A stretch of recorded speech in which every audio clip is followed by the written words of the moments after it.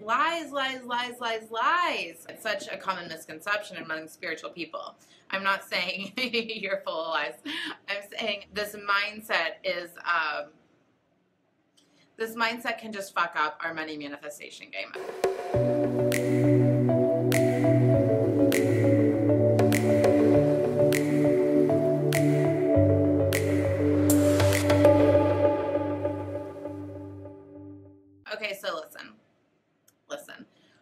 Earning is of high service. Receiving is of high service. Money is a fucking resource. Money is a fucking resource.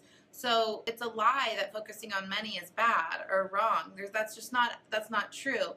When you earn money, think about the amazing things you can do with money. You can donate, you can give back, you can support organizations you believe in, you can employ people.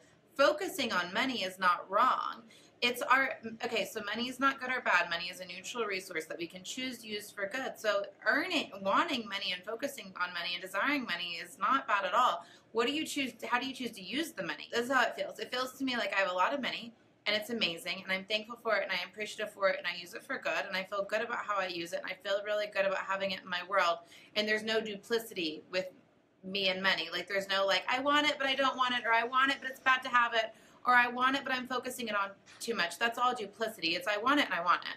Like, so it's clear. It's a clear channel. There's not limiting thoughts and ideas stopping me from receiving money. So what I'm saying is money feels good to me. Earning feels good to me. Receiving feels good to me. It all feels very clear and it is all of service. You paying your bills is of service. You being supported is of service. You taking care of yourself and your life is of service. When I create things, I understand that they are funnels that get to bring me money, and that's good. There's a feeling of this is the only way money can come from. This can, money can only flow through me from a course. That's that doesn't feel good. Money doesn't come from courses, money flows through courses. Money doesn't come from clients, money flows through clients. And so when we create offers, we get that money gets to flow through them, but they are not our source. So my only thing I would say to you as far as keeping your, because I get your intention is so pure. You want to keep your heart right and you want to be in alignment and you want to be in flow.